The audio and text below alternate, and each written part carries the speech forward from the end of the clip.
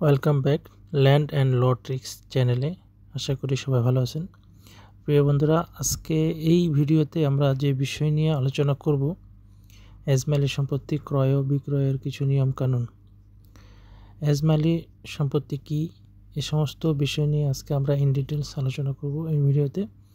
Video জুড়ে থাকবেন, আশা করি এই সমস্ত বিষয়গুলো আপনাদের জানা হয়ে যাবে। প্রথমত যে বিষয়টি নিয়ে আলোচনা করব সেটা হচ্ছে এজমালি অর্থ কী?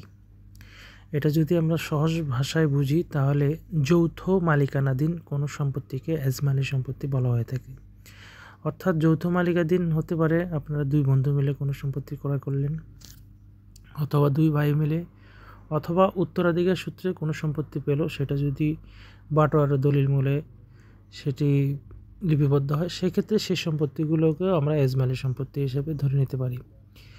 তাহলে আমরা কি বুঝলাম? এজমালি সম্পত্তি সাধারণত তিন ধরনের হতে পারে। যৌথ মালিকানাধীন, একই দলিলভুক্ত কোনো সম্পত্তি যদি হয়ে থাকে, সেক্ষেত্রে সেটা আমরা এজমালি সম্পত্তি হিসেবে ধরে নিব। দ্বিতীয়ত যে বিষয়টি, ক্রয় ও বিক্রয়ের সময় করণীয়। ক্রয়ের সময় হয়তো আপনারা চাইলে একই দলিলভুক্ত কোনো সম্পত্তি এজমালি হিসেবে একই দলিলে আপনারা নিতে পারেন। যদি দুই বন্ধু হন, সেক্ষেত্রেও নিতে পারেন, দুই ভাই মিলেও নিতে পারেন। নিয়ে সেটি কার কতটুকু অংশ সেটি দলিলে উল্লেখ করতে পারেন। এবং বিক্রয়ের সময় ঠিক একইভাবে আপনারা চাইলে বিক্রয় করতে পারবেন। এজমালি সম্পত্তির ক্ষেত্রে তৃতীয় যে বিষয়টি গুরুত্বপূর্ণ, নামজারি কীভাবে করবেন?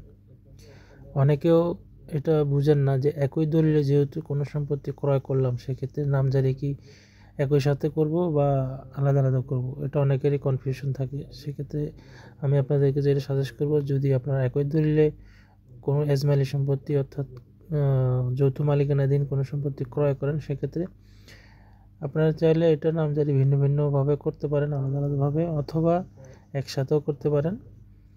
এতে কোনো সমস্যা নাই। তবে ভিন্ন ভিন্নভাবে করলে কোনো ক্ষেত্রে যদি বিক্রয়ের প্রয়োজন পড়ে যে কোনো একজনের সেক্ষেত্রে সে সহজেই সম্পত্তিটি হস্তান্তর করতে পারবে, এই জন্য তার সুবিধা হবে। এটা ধরে নেওয়া যায়। তো যাই হোক, এটা চাইলে আপনারা একসাথেও করতে পারবেন বা ভিন্ন ভিন্নভাবেও নামজারি আপনারা করে নিতে পারবেন। চতুর্থ যে বিষয়টা নিয়ে আলোচনা করব, সেটা হচ্ছে সতর্কতা অবলম্বন।